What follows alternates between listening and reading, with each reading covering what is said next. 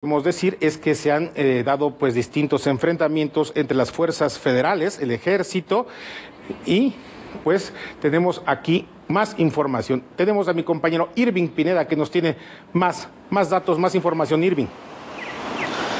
¿Cómo estás, mi querido Néstor? Tarde complicada la que se está viviendo en Culiacán, pero también la que se está viviendo aquí en la capital del país. Ha comenzado ya la sesión del Gabinete de Seguridad, así lo ha confirmado el presidente López Obrador hace unos minutos previo a su viaje a Oaxaca, donde mañana va a sesionar el Gabinete de Seguridad en Oaxaca y donde se va a analizar la posibilidad del envío de más fuerzas federales en Culiacán luego de la jornada violenta. El presidente López Obrador eh, no quiso dar más detalles, dijo que a lo largo de los siguientes minutos y después de la reunión del seguridad, de seguridad se darán más detalles de la detención de piezas claves del cártel de Sinaloa.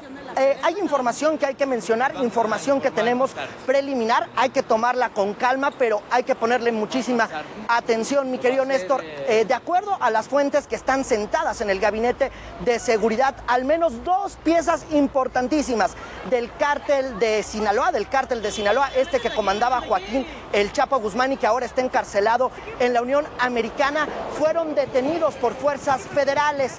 Eh, de estas dos piezas clave que fueron detenidas cuando estaban comiendo, al parecer, en un restaurante de Culiacán, dos son hijos de Joaquín El Chapo Guzmán, aunque se están haciendo pruebas de genética, pruebas de identidad, para poder determinar si estas dos personas detenidas en realidad son los hijos de Guzmán Loera, y lo cual ha ocasionado que se desaten algunos bloqueos en Culiacán. Hay que tomar esta información preliminar, por eso no se ha emitido ningún boletín, ninguna comunicación oficial, pero lo que sí podemos decir es que la Sedena y la Marina pudieron participar de acuerdo a los reportes preliminares ya en esta operación. Hay que decir, es la información preliminar que tenemos. Se perfila que pueda haber un comunicado, una conferencia de medios por ahí de las 10, 11 de la noche y por supuesto que mañana en, este, en esta reunión del Gabinete de Seguridad que ya está agendada en Oaxaca. Mi querido Néstor, la información y los hechos en desarrollo a esta hora de la tarde. Así es, Irving, estaremos muy, pero muy pendientes ahora de la información que emita el, gobierno federal.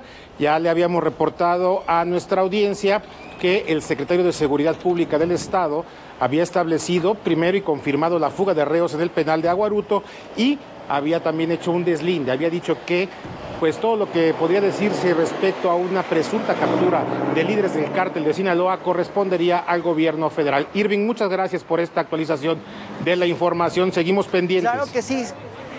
Seguimos pendientes, va a ser una tarde y una noche muy larga seguramente. Sin duda, sin duda, mi querido Irving.